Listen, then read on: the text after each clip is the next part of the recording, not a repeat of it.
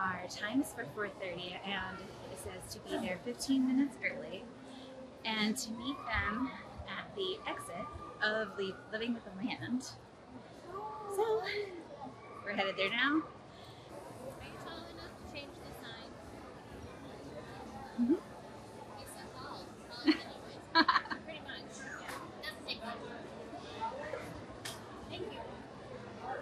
You're hired. Yay! You with a with a vegetable. Pizza, a vegetable. But I'll pay you with Mickey stickers.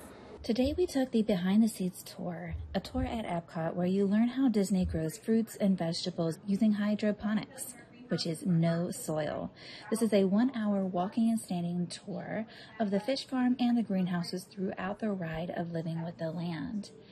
And I'm going to do a lot of voiceovers for this video because I didn't want to interrupt the rest of the people on this tour. So we did book it see all the ahead on online, and it was very easy to do through my experience Disney app. And we just showed up 15 minutes early, checked in at the desk near the exit of the Living with the Land, and we were all giving backstage lanyards. The first room that we toured was the Integrated Pest Management, or IPM, where we learned how Disney deals with pests on their plants. They use wind control on all the doors to keep out pests, cutting off leaves that are infected, and they only use chemicals, which is soft chemicals, as a last resort, such as soap or oils. They also use biological pest control. In this first room, we were able to get a close look at the miner flies and wasps and see firsthand how they affect the plants. We were also each given a headset so that we could hear the tour guide throughout the tour and headed right outside. They are a merchandise item, but they're not started from seed, so we're saving time by skipping the germination step. And we're also trying to hurry root development along by providing red wavelengths of light. That's really good for roots and uh, a rooting hormone as well. So inside of the jars, there's a gel at the base that provides all of nutrition that the plant needs while it fits inside of the jar. And then the rooting hormone that we added, again, just helps to um, increase the, the rate of development of the roots. The process um, is being demonstrated on the TV. So basically, right now, Mark, those are his hands. He's harvesting little pieces of that jar. On the other side of the laboratory, we are testing tree for NASA. Disney doesn't partner directly with NASA. It's like one degree of separation. So we're working with the USDA, and the USDA is working with NASA. NASA showed up one day and brought us a growth chamber, and we're testing a plum tree. Um, inside the growth chamber, we can change different parameters like light, CO2, humidity. Once in the greenhouse, we learned the sand here is the same sand as, was, as it was very first planted in uh, 1982. So before I was born, one year before I was born, we were asked not to touch the plants as it needs to stay food safe. With the exception of Stanley. Stanley is the name of the sensitive plant. Each person on the tour was able to touch the plant and see its leaves close up. And then she said it takes about 10 minutes for the leaves to open back up.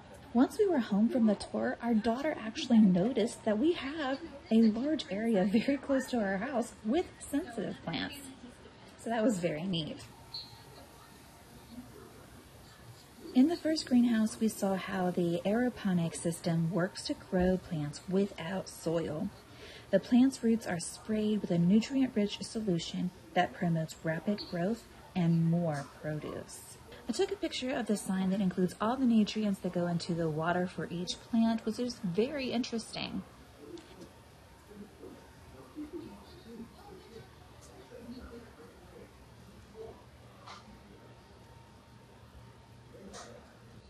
Restaurants that use the produce from the Living with the Land include Garden Grill, Sunshine Seasons, Coral Reef, Gico. We were able to taste some cucumbers that were grown in this greenhouse that were seedless cucumbers, also known as burpless cucumbers. So we learned that if a cucumber has large seeds, it makes some people burp. So they were able to grow some cucumbers here that were either seedless or have small seeds, and they're burpless.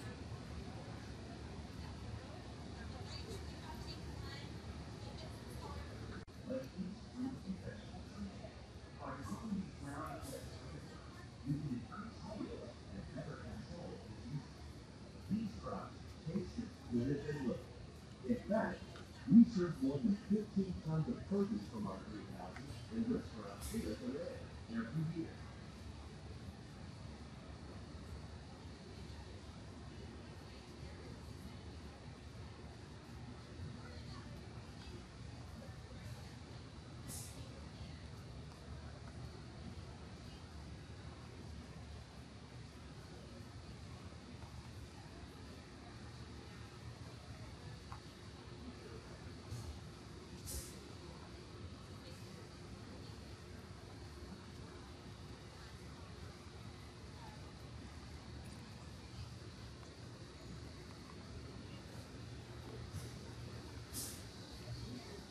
And we also learned that Disney chills the water that is used for their plants. And that is how they are able to grow lettuce in such hot weather here in Florida. So for the lettuce, in order to grow, they keep the water under 60 degrees. Does anybody have any guesses what this device is?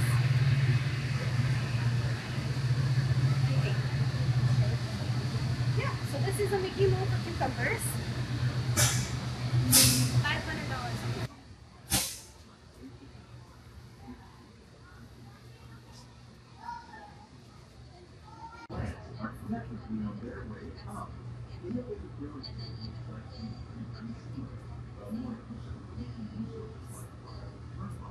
all the different types of pest control that Disney uses for their greenhouses, there's one animal that they cannot stop from getting in. And that is what's making these little tiny footprints in the sands right there. Any guesses of what it is? Let me know in the comments down below because they are everywhere here in Florida. Any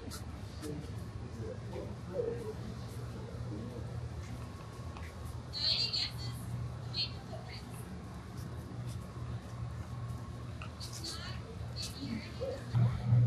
Right here in the corner, we've got winter melon. Does anybody want to guess the weight of the winter melon this year? A hundred and twenty? Well, it's going to It's really close. It's thirty-eight pounds. Yep. So that one for sure. Is mostly going to go through the but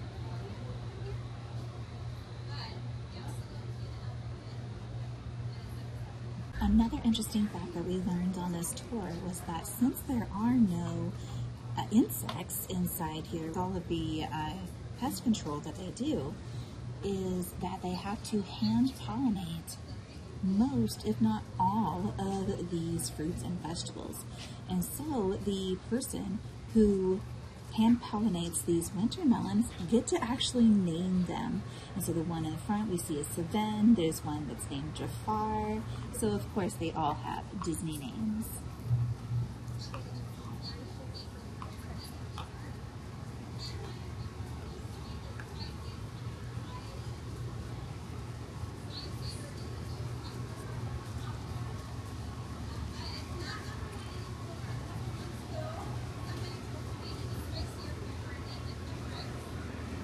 Yeah. Yeah. Yeah,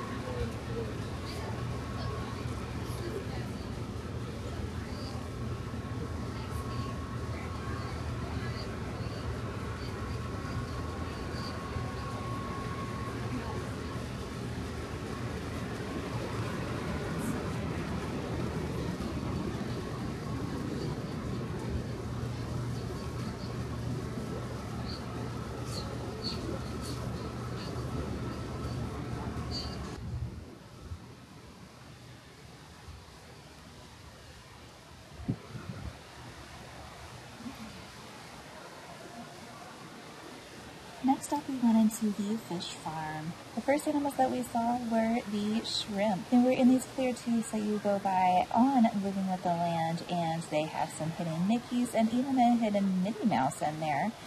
and they were just so cute. All the shrimp is going around in there. Then we were able to walk by the tilapia and even the sea bass that have that they do use in some of the restaurants at Disney.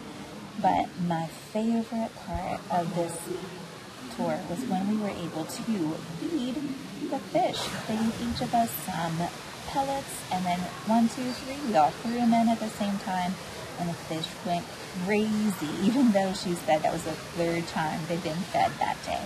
We were the last tour, and they were so excited for these little fish pellets.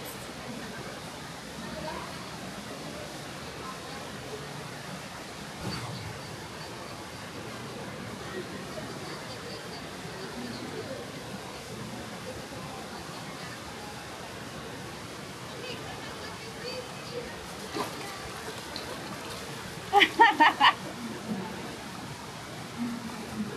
a whole ball.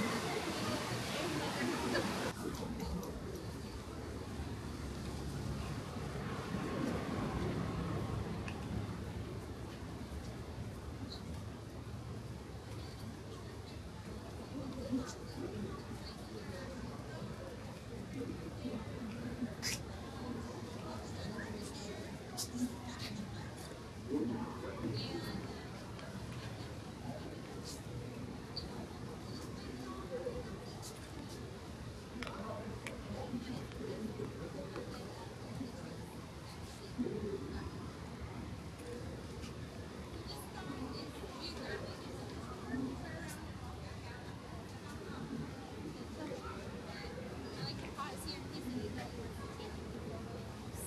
So all of the vegetables were about five houses. And we drew a lot for Yeah,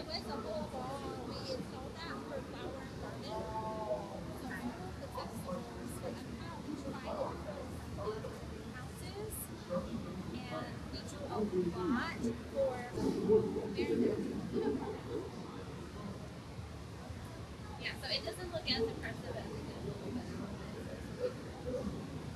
But then you go check a picture. A picture. Plums.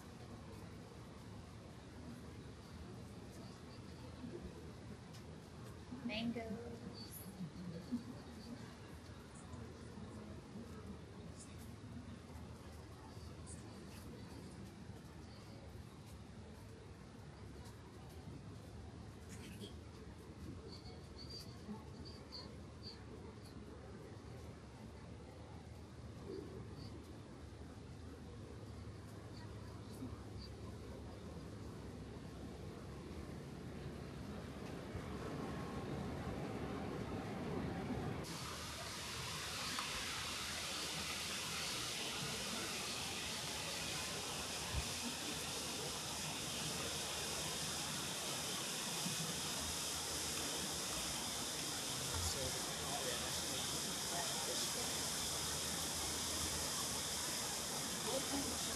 Ice cream, ice cream banana?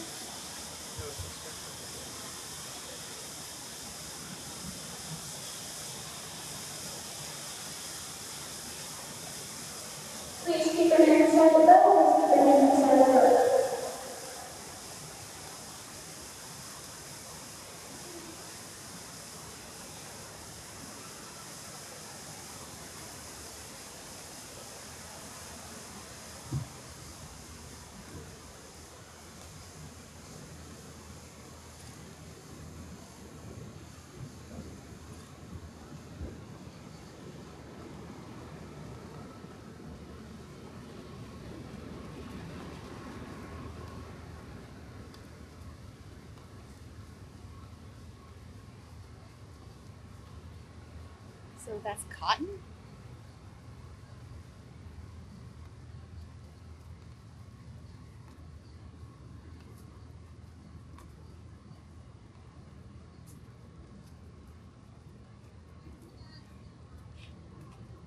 My dad would like that sorghum.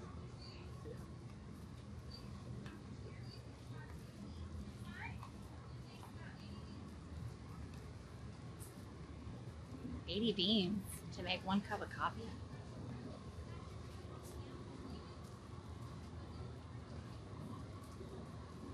Oh, there they are.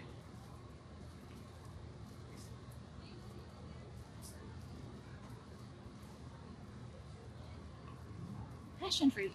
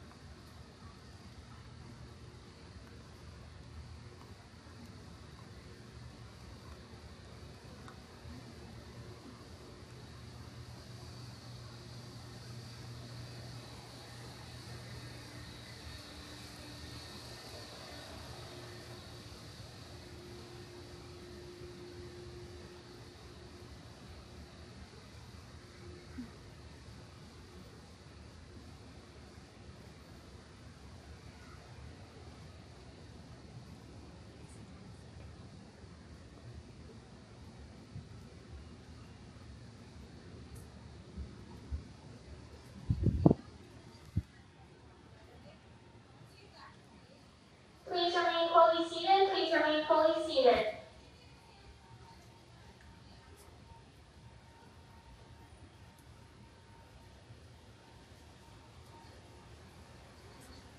All right, here's Stanley. Bye, Stanley. Bye, bye. Bye.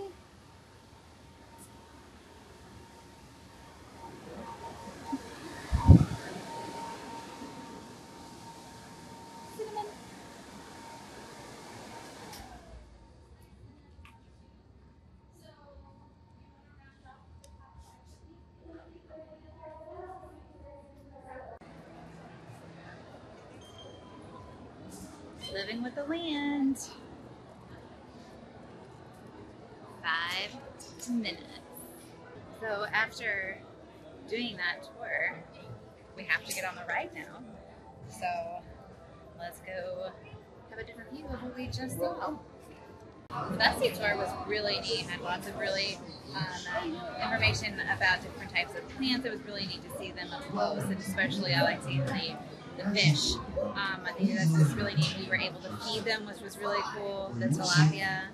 So they gave us a paper on how to make a land hydroponic grow tank. Por su seguridad, permanezca sentado con sus manos y brazos, pies y piernas dentro del parque y cuida a los pequeñitos. A manera de recordatorio, no Have you ever had breadfruit? Me neither. Welcome to our living laboratory, where scientists from Epcot and the U.S. Java Department of Agriculture are exploring innovative ways to produce bountiful harvests now and into the future. And waterways. We were just All parts of this plant, even the flower petals, are edible. The starchy root of the plant has long been used to make flour for baking.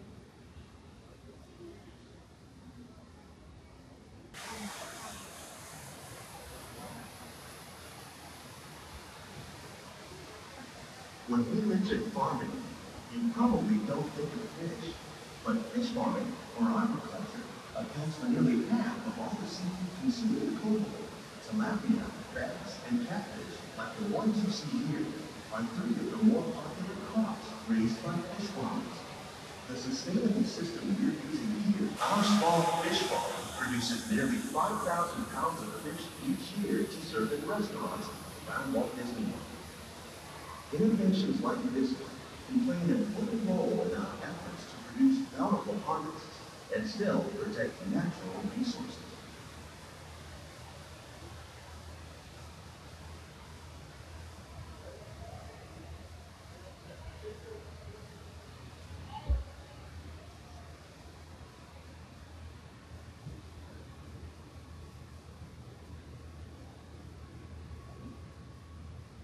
While there are more than 50,000 edible plant species in the world, most of us are only familiar with the handful that make up our everyday diet.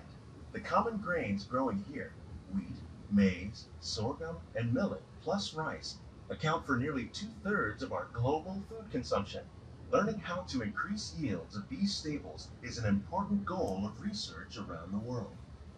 Another innovation at work here is our integrated pest management program. By populating our greenhouses with beneficial insects that prey on harmful pests, like aphids and flies, we are significantly reducing our reliance on conventional pesticides. We're growing these crops using our nutrient film system. This technique precisely controls and recycles water and nutrients. With it, we can produce over 27,000 heads of lettuce a year in this one small area. Some of our best ideas have been inspired by nature, like these fruit and vegetable trees. By growing these ground plants vertically, we can increase yields and better control diseases. These crops taste as good as they look. In fact, we serve more than 15 tons of produce from our greenhouses and restaurants here at the land every year.